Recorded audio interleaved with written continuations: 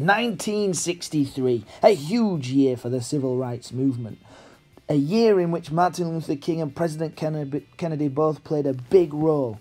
In Birmingham, we'll look at first, because in chronological order that came first, and Birmingham led nicely into the, the March on Washington, and both had a big impact on what was to come. So, first to Birmingham, Alabama. And you might remember this from Little Rock High School happening in another state in America. Well, to get around having to desegregate everywhere, uh, the city of Birmingham, Alabama just closed all the playgrounds, swimming pools, golf courses, parks, and so on. And Martin Luther King and the Southern Christian Leadership Conference tried to challenge this. Um, and they decided to use the tactics that had worked before confrontation peacefully. And so they called it Project C, which stood for confrontation. They'd used the same tactics they've used successfully sit ins, marches, all that sort of thing. And they, would ho- they hoped that it would cause Birmingham, Alabama to desegregate and stop all this nonsense. What happened? Well, the demonstrations kicked off, and Martin Luther King made a speech and he said it was better to go to jail in dignity rather than just accept segregation, which is not very dignified. And, well, as might be quite predictable, he was arrested eh, on the 12th of April and stuck in jail. And whilst he was in jail, he wrote a letter which became known as Letter from Birmingham Jail and it was one of the most significant documents in the civil rights movement. It became published, loads of people read it. Um, and in that document, he talked, he wrote about how African Americans were tired and angry at their humiliating treatment, how people in the newly independent countries, black people in new independent countries, or people of other different races, had more rights than African Americans did in a country that's supposed to treat all men equally. And he said that people were tired of what had gone on and that the police were doing very little or nothing at all to help, and in fact sometimes committed violence themselves against African Americans. Most importantly, though, and this is the key bit to get, King pointed out the fact that there was tremendous poverty among African Americans in a country of incredible wealth that goes around the world speaking about freedom and how great a country it is. So, how can that situation be the case?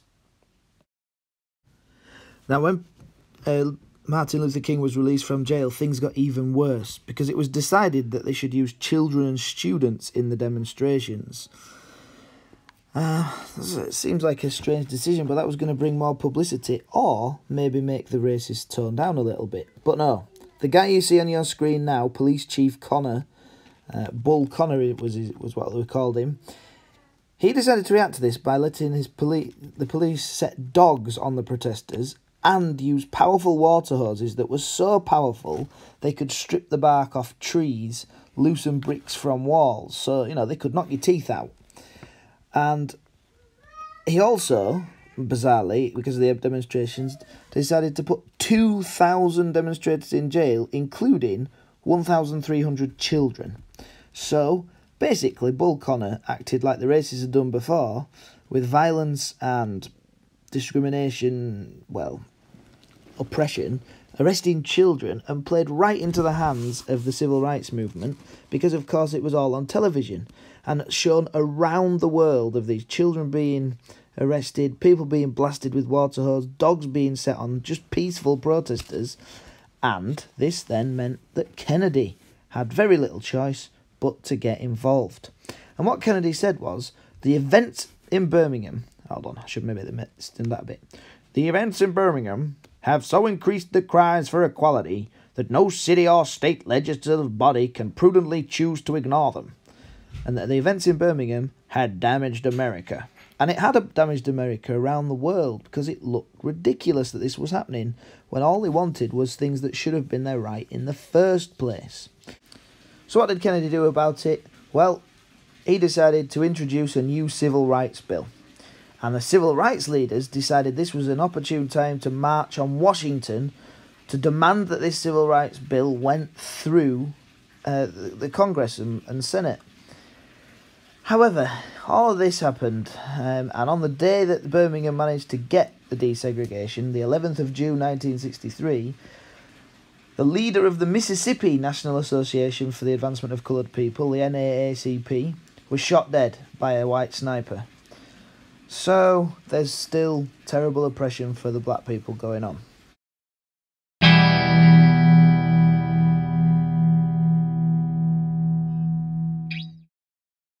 And so to the March on Washington that all of the key groups took part in in the civil rights movement the NAACP, CORE, SNCC, and the SCLC. Will if you're not sure about those acronyms, we'll, we'll make sure you've got them by the exam. 1863 was when the slaves were officially freed. 1963, they wanted to do a march to commemorate that event. The people of Washington, the president, the government were a bit worried that violence might break out, and actually, Martin Luther King was as well. Um, but part of the reason why he wanted to make sure this happened was to try to stave off violence. He wanted change to happen quickly so that the people who were impatient and liable to violence didn't get a chance. Well, they expected that there'd be mm, less than 125,000, so they thought there might be about 100,000 people, which is Wembley Stadium. Now, it's a colossal number. 250,000 demonstrators turned up, and it's also estimated that about 80,000 of them were white. So remember, the civil rights movement isn't black versus white. A lot of white people were part of the civil rights movement on the side of the, the black people. And they came from all across the United States, and every time they saw a politician, they chanted at them to pass the bill, pass the bill. Lots of different speeches were made through the day, and they were quite controversial, some of them, and all of it, this is quite significant, were broadcast on television to the rest of the United States.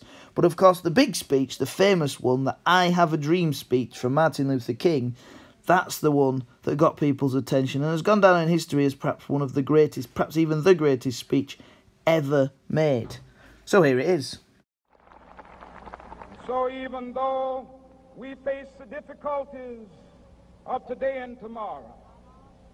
I still have a dream. It is a dream deeply rooted in the American dream. I have a dream mm-hmm. that one day this nation will rise up and live out the true meaning of its creed. We hold these truths to be self-evident that all men are created equal.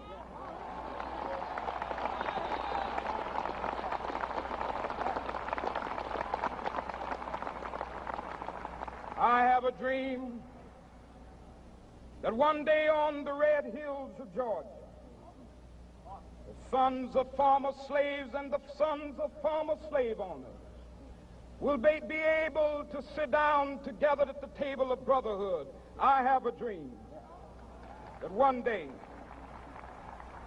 even the state of Mississippi, a state sweltering with the heat of injustice, sweltering with the heat of oppression, will be transformed into an oasis of freedom and justice. I have a dream.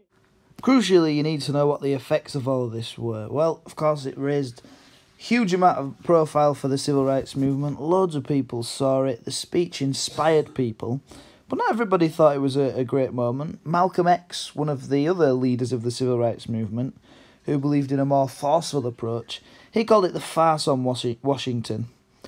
Um, also, President Kennedy, a positive, is that he reaffirmed his commitment to the civil rights movement. You know, the President of the United States was saying, I believe in this movement and I want to make sure this change happened. Not every politician, particularly some in the Republican Party, um, were willing to back the civil rights bill, but the president was determined and lots of politicians were in support of it. However, as with the Birmingham, Alabama thing, they got the equality there, they'd had a great success in the March on Washington, and violence still happened. So on September 1963, four black girls going to Sunday school, young black girls, you can see an image of them on the screen, were killed in a bomb.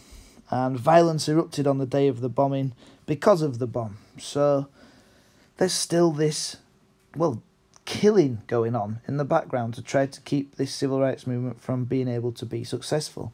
So there you go, 1963, a huge year for the civil rights movement, but there was one final negative issue that occurred in 1963, and President Kennedy had said after the March on Washington, you know, he was fully in support. He made it quite clear that he wanted the Civil Rights Bill to pass. I mean, he'd proposed it in the first place. But then in November, he was shot and killed, which shocked the world and certainly saddened many in the civil rights movement.